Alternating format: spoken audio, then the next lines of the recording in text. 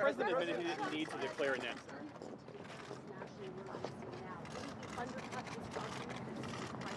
Not at all. The point the president's making, I, think the biggest takeaway that we have to look at is that he shouldn't have to.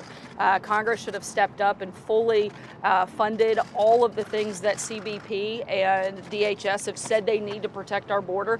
But the, look, the president could drag this out certainly over years, uh, and we could spend the next decade building the wall. But the president wants to stop uh, the national security and humanitarian crisis that's taking place at the border. He wants to stop it as soon as he can, uh, and that requires getting additional funding outside of the funding package. Sarah, there, there.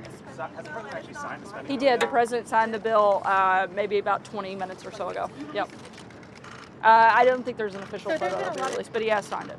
So what's your response to Republican lawmakers who say they're uncomfortable with the president declaring a national emergency? They say it constitutes executive overreach. Uh, it, it's certainly um, 100% within the president's executive authority, um, and certainly part of his constitutional duty to protect the people of this country. Frankly, if people and uh, members of Congress had a problem with it, they should have done more to address uh, and get more of these problems solved in the legislation so the president wouldn't have to take executive action.